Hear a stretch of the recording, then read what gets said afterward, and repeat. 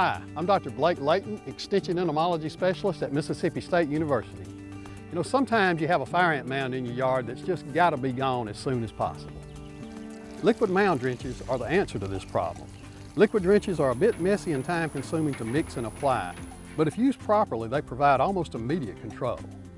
The tools you need to apply this treatment include an insecticide that is labeled for use as a mound drench, a watering can, a measuring spoon, chemical resistant gloves, and something to stir with. Start by reading the label and mixing according to label directions. Mix one gallon of drench for small to mid-sized mounds, but use two gallons of drench for larger mounds.